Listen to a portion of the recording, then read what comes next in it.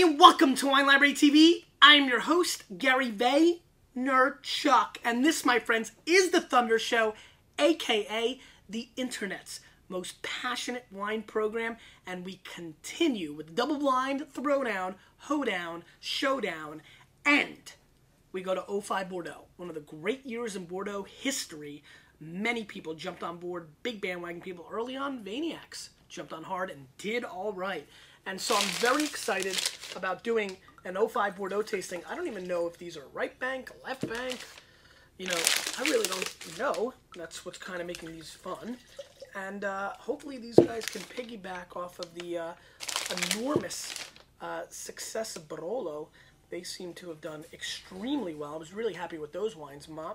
These wines are showing great, great color. Um, and let's see what's going on with these two wines. Let's go snippy sniff over here. Let's go sniffy sniff over there.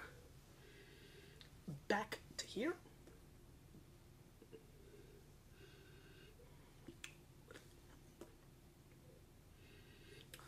Hmm. All right, let's start over here. Let's give this a good old-fashioned sniffy sniff. I get some black currant coming across here, a little cassis action as well, which is nice. Let's go over here. This is a little bit tighter.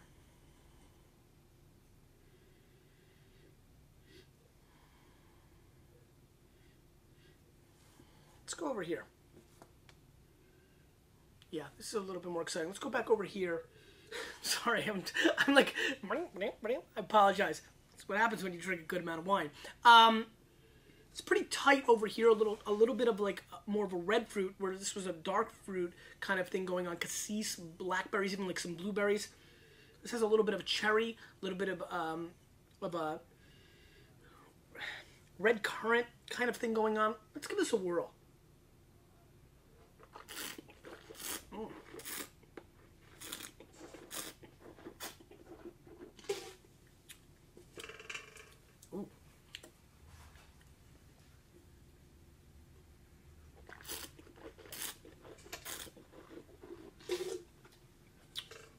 Wow. Starts off light and kind of easy, and then finishes dry and kind of hard.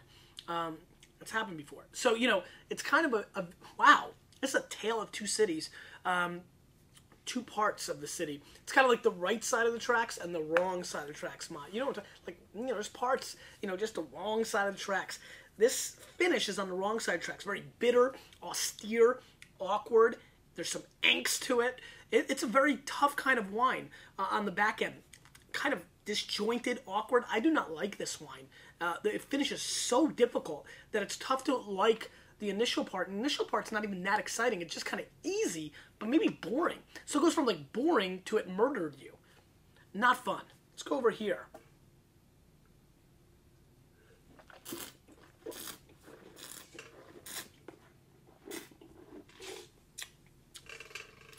Much more lush, much easier silky finish. You know, if I had one hope, all the people are confused about a smooth finish. I wish they had the opportunity to taste these side by side. You taste this, and then you taste this, you'll understand a smooth finish quickly. Neither of these wines brings it. Uh, this is a really out and out disaster. This one's a little bit boring and a little hollow. Not bad though. Actually, I'm being a little bit difficult on this wine. I think I'm still pissed over here. Um, and it's not so bad either, just a, tight finish. It has some nice elegance to it, some good fruit. But no, no, I think I'm, I think I'm feeling pretty comfortable to, to say that neither really brings enormous thunder to my life. Um, it's got some good dark fruit, like I said earlier, and it, it continues. There's some dark chocolate shavings on top. Just kind of, uh, just I don't know, not really. Huh, I don't know, just kind of boring wines at some level. Just I don't know. I'm just Cabernet Merlot out a little bit in general on my palate. I'm just looking for other flavors right now. Your palate just moves around, and right now I'm just not interested in hearing your story, Cabernet or Merlot. Just not. Not at all. At all. All right, so I'm going to score this wine over here in, in 82. I'm going to score this wine over here in 88 plus, and so we should unveil the loser, Mott. These are tight and to the point when they're not that fun. Uh, Chateau Lathille uh, declassified Pessac. This is thirty three. This one's thirty three dollars. Seventy Merlot, thirty Cab, um, from the Pessac. Um, I, I, guess this is maybe a Chateau uh, Chateau Clanet declassified wine or third wine. Excuse me. I'm really not impressed with that wine. Thirty three bucks. Wow. Okay. And uh, the 88 plus winner is uh, Chateau Jean Faux 05 Bordeaux, 30 bucks, 80% Merlot, 20 Cab Franc. Um, a, little bit more interesting. Um, not, you know, yeah, more interesting for sure. A uh, little meatier. Uh, th this was 70 Merlot, 30 Cab. This is 80 Merlot, 20 Cab Franc. Cab Sauv over here. Um, and then and there you really have it. Um, both wines in the same price range. Thought they showed significantly differently.